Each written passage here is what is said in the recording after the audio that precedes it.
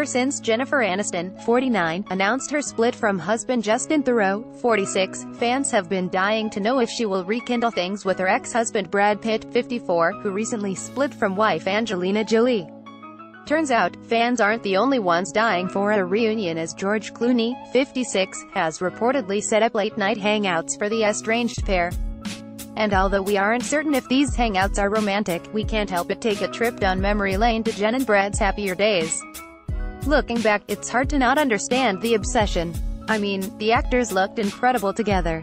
Our favorite moments of course, were Jennifer and Brad's many red carpet appearances. Following their 2000 wedding in Malibu, the newlyweds hit up the 52nd Annual Emmy Awards in Los Angeles. They couldn't take their eyes or hands off each other, and we still can't get over it. Jennifer looked stunning in a simple red gown, while Brad looked extra dapper in a black suit. Don't you miss them together? In addition to looking good together, they also slayed together.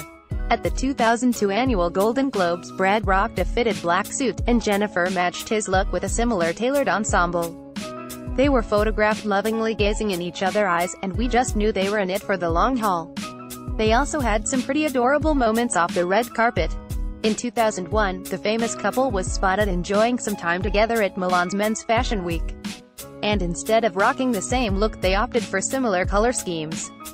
Brad wore a tan blazer and Jen flaunted a chic taupe top. Nevertheless, we certainly wouldn't mind seeing them together again. Keep up the good work, George. Check out more of their couple moments in the gallery above.